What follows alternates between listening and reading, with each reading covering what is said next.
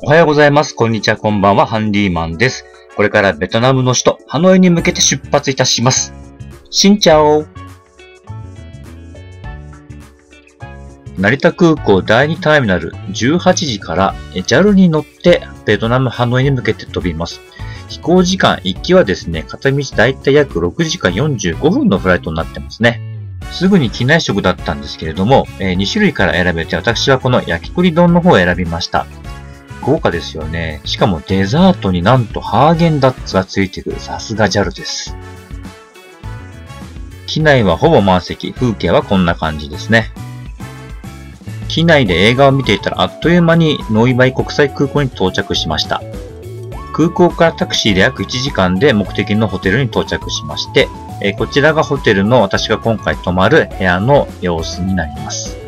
ホテルは一応4つ星ホテルなんですけれども、確かに部屋はそれなりに綺麗で広いんですよ。ただこの洗面化粧台の排水が壊れてて排水はできない。トイレの便座はぐらぐら揺れる。お湯はまあ出るんですけれども、それは救いでしたね。まあ、日本で言うと三つ星レベルぐらいですかね。いや、日本のホテルと比較しちゃいけませんね。はい、翌朝朝食はですね、ホテルのレストランを予約していたので、こちらで食事をします。バイキング形式なんですけど、フォーだけは別で注文できるんですよ。これがまたすごくうまいんです。食後にホテルの屋上に行って、外を眺めてみようと思ってちょっと来てみたんですけど、まあ確かに眺めはいいんですよね。ただちょっとビルがあって見づらい部分もあったり、そしてこの曇り空ですよ。これね、大気汚染の影響でかなり濁ってるんですよね、空気が。マスクをしていてもすぐ喉がやられちゃうんで、ビックスドロップずっと舐めてました。はい、こちらが私が泊まったホテル、シルククイーングランドホテルですね。翌朝早朝にロッテモールに向かいました。韓国じゃないのにベトナムにもロッテモールがあるってなんかいいですよね。あの屋上の展望台に行きたくて来てみました。はい、ここからはしばらくウェアラブルカメラを使って撮影しているので、ちょっと見づらいかもしれませんがご了承ください。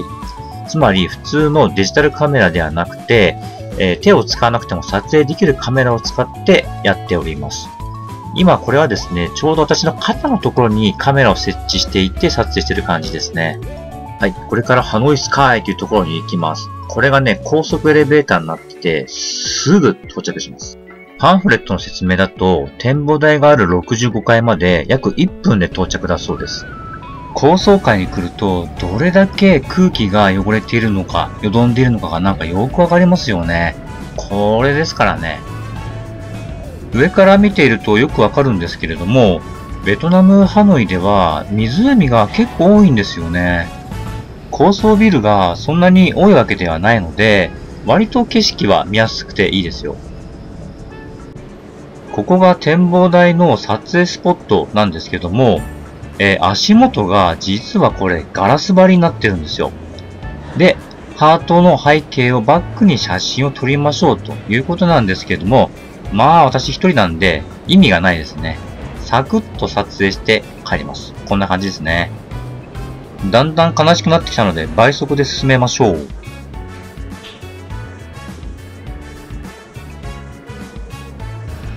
他にもう一つ、ここも撮影スポットなってまして、もちろん足元はガラス張り。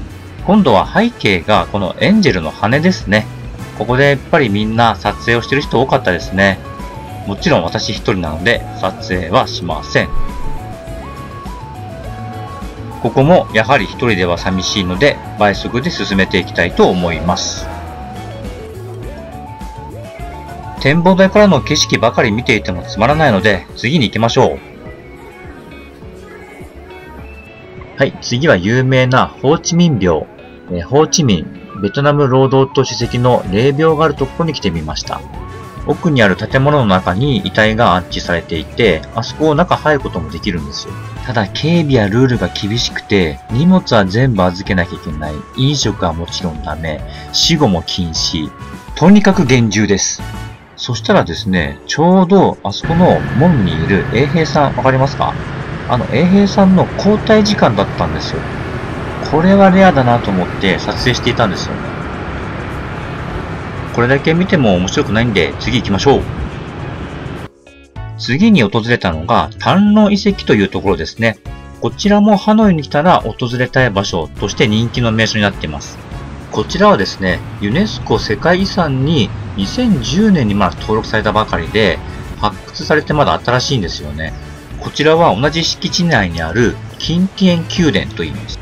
現在はこの竜の形をした手すりだけ残っていて、もともとこの上には皇帝の宮殿が建っていたと推測されているらしいです。こちらが宮殿があったであろうという絵図ですね。せっかくなので近くまで私も行って見てみようと思っています。地元の方や観光客の方も結構お参りに来てましたね。なんだけど、ちょっと私近づくにつれて違和感を感じていたんですよ。この状態で皆さんわかりますか？この違和感。本殿らしきところの正面が近づくにつれて、なんだかすごく違和感感じるんですよ。こういう風に地元の方は、お線香みたいな、お香みたいなものをあげて、お参りされている方が結構いらっしゃいました。それはさておき、皆さんこの違和感気づきました？そう、そうなんですよ。実は、あれ、全部プレハブなんですよ。ここからよーく見るとわかるんですけど、本当に薄っぺらいベニヤ板で、お寺みたいな感じの風景を作ってるだけなんです。あれ、絵なんですよ、後ろのやつ。続いてこちら、天井の方に額縁があるんですけれども、あちらがホーチミンさんですね。ここの場所は、ベトナム戦争時代とかに地下指令室として使われていた場所らしくて、そういったものが開放されております。当時使われていた会議室とか機材、いろいろなものがここに展示されていて、ベトナム戦争時代の話とかも展示されています。さあ、場所を移動しまして、先ほどまでは全部単論所遺跡の敷地内にある、すごく広大なとこなんですけども、今こちらはハノイの旧市街の方にやってきました。こちらはですね、ハノイ大教会といって、やはりここも観光スポットになってます。で、この教会の周りに本当に美味しいカフェやレストランがいっぱいあるんですよ。